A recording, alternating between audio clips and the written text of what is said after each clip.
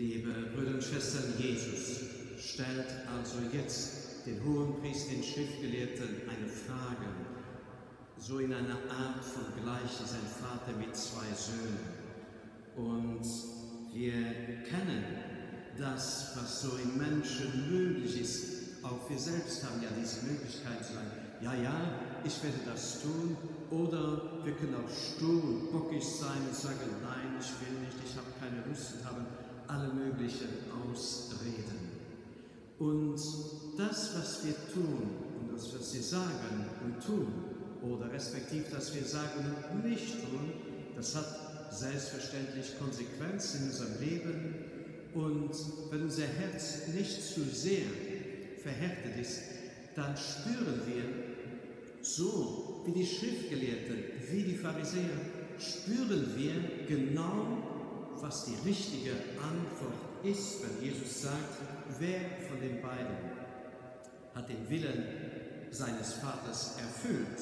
Sie wissen es, wir wissen es, wer den Willen des Vaters erfüllt hat. Da braucht man keine langen Studien hinter sich gebracht zu haben, möchte ich mal sagen. Liebe Brüder und Schwestern, Jesus traut unserem Herzen zu, dass wir wissen, recht ist.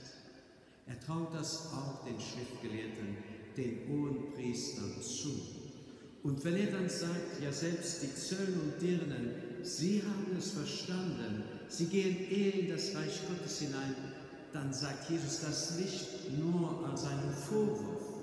Er sagt es auch mit einem Schmerz in seinem Herzen weil er möchte auch die Hohenpriester, die Schriftgelehrten, Pharisäer, Sadduzäer, wie auch immer sie jetzt heißen, die Professionellen, sagen wir mal, er möchte sie mit in das Boot der Liebe Gottes hineinbringen. Er ist gekommen, um alle Menschen zu retten.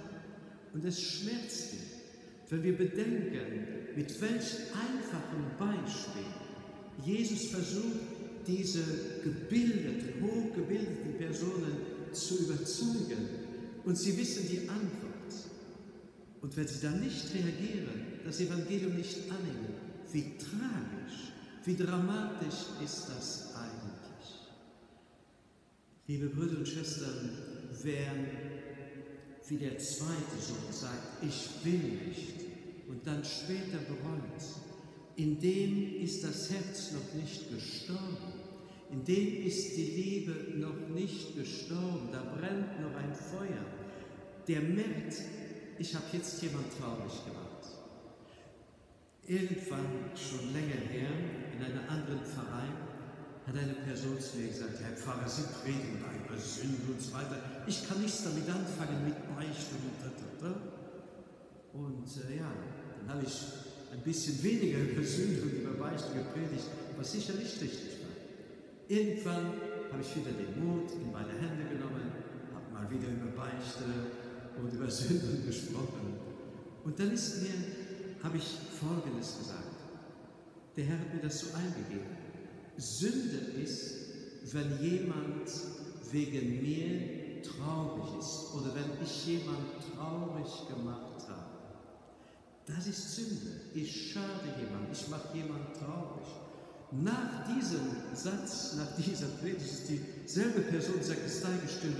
Herr Pfarrer, jetzt weiß ich es. Jetzt weiß ich, was Sünde ist. Ich habe auch Sünde.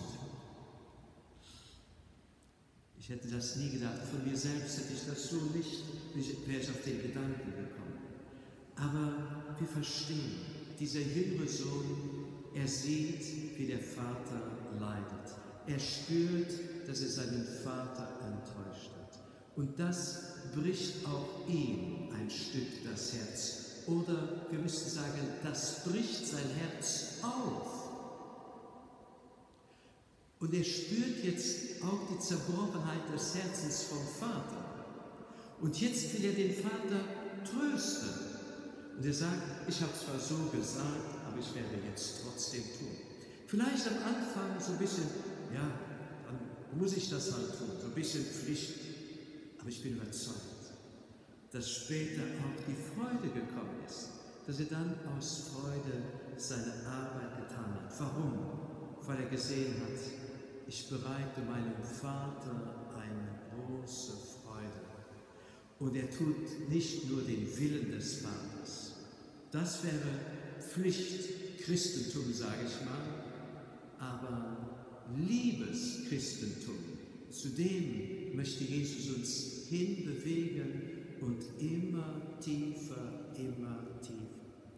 Und wer bereut, liebe Brüder und Schwestern, wer echt in seinem Herzen bereut, wem es schmerzt, wem es leid tut, dass er jemand anders traurig gemacht hat und der den Weg der Umkehr geht, der um Verzeihen bittet, Gott den Vater, auch Jesus, wer auch, so wie es möglich ist, seinem Nächsten dann auch um Verzeihen bittet, der braucht sich nicht schämen.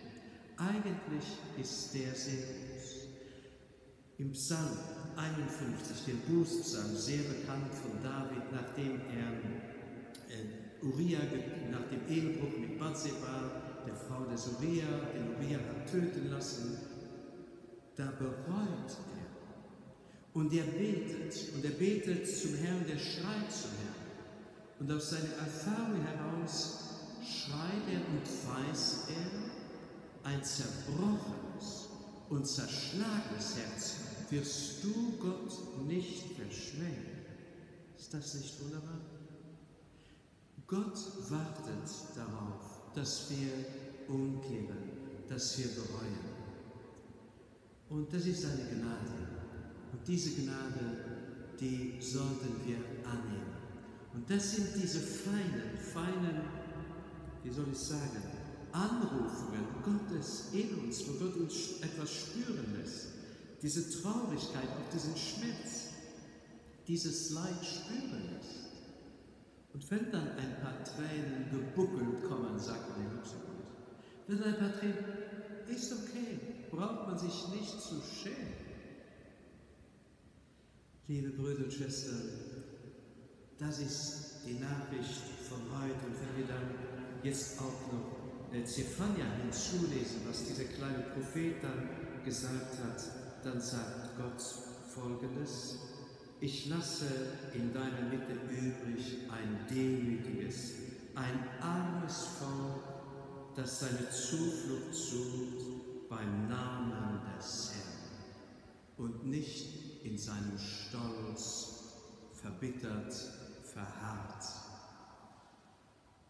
Bitten wir Gott um die Gnade, dass er immer wieder unser Herz berührt und uns diese wahre Reue schenkt, damit wir ganz, mit ganzem Herzen und mit Liebe und aus Liebe ihm dienen, im Namen des Vaters, des Sohnes und des Heiligen Geistes.